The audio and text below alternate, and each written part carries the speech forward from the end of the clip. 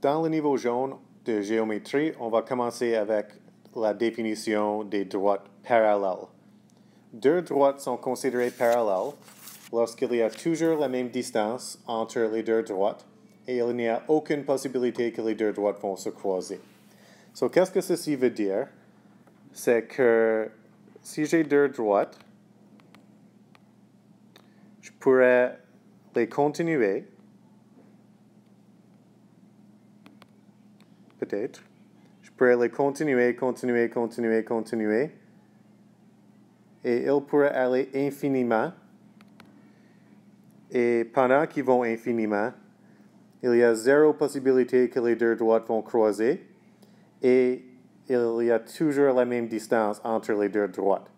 Alors, si j'avais deux droites qui n'étaient pas parallèles, quelque chose comme ceci, quand je continue ma droite, éventuellement ça va croiser.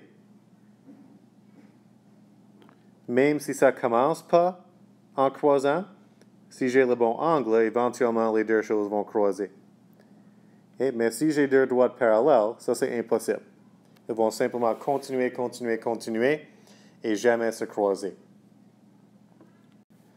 Prochain terme qu'on a besoin de savoir, c'est qu'est-ce que ça veut dire lorsqu'il y a deux droites qui sont perpendiculaires? Si j'ai deux droites qui sont perpendiculaires, elles se rencontrent à un angle de 90 degrés. So j'ai droite 1 et droite 2, et ils vont se rencontrer à un angle de 90 degrés. Ils pourraient se rencontrer, pourraient se croiser, pourraient se rencontrer n'importe où sur la droite, et ces droites ici sont perpendiculaires et se rencontrent à un angle de 90 degrés. Prochain terme à connaître, c'est le terme bisectrice. Une bisectrice est quelque chose qui coupe soit une droite ou un angle en deux parties égaux. So, si on commence avec une droite, j'ai une droite là, et ici j'ai une bisectrice. So, le, le rôle de la bisectrice, c'est de faire deux parties égales sur ma droite. So, j'ai besoin de savoir où est le milieu de ma droite, et là, la bisectrice coupe pour que, à chaque côté de ma ligne ici, je devrais avoir les mêmes montants d'espace. Avec un angle, c'est la même idée. Lorsque j'ai un angle et j'ai ma bisectrice, so ma bisectrice est là, je devrais avoir le même montant d'espace sur les deux côtés de la bisectrice dans l'angle. So, si je mesure avec un rapporteur, je devrais trouver qu'un côté est égal à l'autre en termes de la mesure.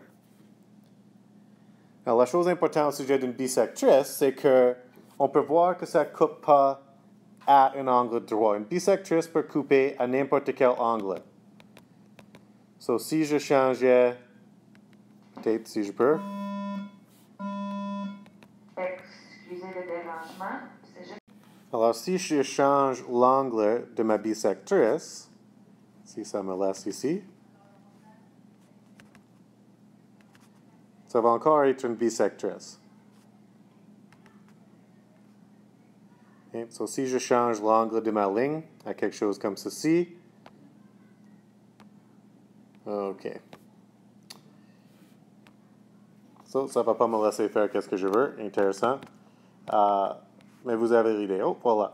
Okay, maintenant, j'ai un différent angle sur ma bisectrice, mais ça coupe encore la droite en deux parties égaux et ça agit encore comme une bisectrice. So, l'angle de la bisectrice n'est pas important. Qu'est-ce qui est important? C'est que j'ai le même montant d'espace sur les deux côtés de ma droite. Finalement, le dernier terme est qu'est-ce qu'on appelle une médiatrice une médiatrice est une bisectrice avec une condition spécifique. Une médiatrice doit couper la droite en deux parties égales, mais ça doit le faire à un angle de 90 degrés. So, encore une fois, notre but, c'est de trouver le milieu et d'avoir le même montant d'espace sur les deux côtés. Mais ma bisectrice ici doit croiser un angle de 90 degrés. Et so une médiatrice est une bisectrice, mais une bisectrice n'est pas nécessairement une médiatrice. si ça ne coupe pas à un angle de 90 degrés. Voir vidéo 2 pour comment actuellement tracer ces items-là.